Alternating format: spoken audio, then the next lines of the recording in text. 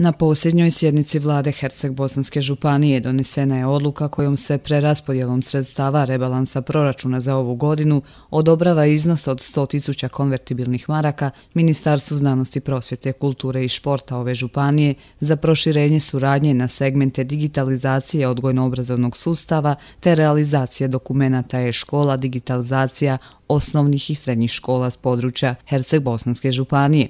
Digitalizacija školstva već je počela svakako s nastavom na daljinu koja je realizirana u suradnji sa sveučilištem u Mostaru, a u cilju jačanja obrazovnog sustava potpisan je i sporazum s ovim sveučilištem kako bi se digitalizacija školstva na području ove županije u potpunosti provela.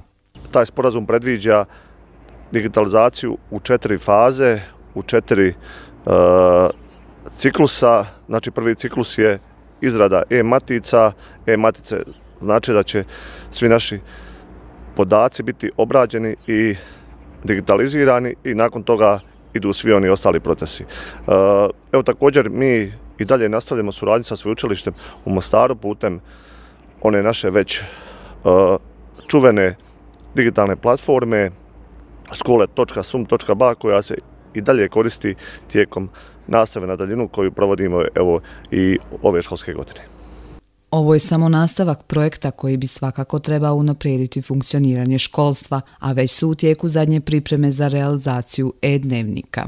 Mi smo evo već uh, skoro sve podatke prikupili, ti podaci su, dio tih podataka je već bio u našim školama, da bi roditelji, oni naravno koji žele, da bi kasnije imali pristup ti našim bazama, odnosno e-dnevniku koji ćemo uh, pilotirati možda čak tijekom ovoga mjeseca u pet škola na području naše županije. Uh, znači što roditelji mogu očekivati? Mogu očekivati da ćemo uh, uskoro imati e-dnevnike na području Hercebosovske županije, da neće moći, odnosno da neće trebati dolaziti u škole za bi jel, provjerili određene statuse e, svog djeteta, odnosno ocjene i tako dalje i sve one beneficije koje ćemo mi kasnije imati u školama od e, školarca, alata za učenje, od e, e-mailova za sve nastavnike, od elektroničkog identiteta za sve nastavnike i učenike. Znači radi se o jednom obimnom uh, projektu koji ćemo, nadam se, u suradnji sa sveučilištem u Mostaru realizirati u idućem razdoblju. Realizacija ovog projekta ubrzana je zbog pandemije koronavirusa. Učenici s područja ove županije svakodnevno su u svojim školskim klupama uz pridržavanje epidemioloških mjera, a situacija u školama po ovom pitanju je zadovoljavajuća. Prema podacima koje ja imam od jučer, imamo uh, nažalost pozitivna dva učenika i tri djelatnika, uh, nešto manje od 30 djelatnika je u samoizolaciji, a oko 100 učenika je u izolaciji.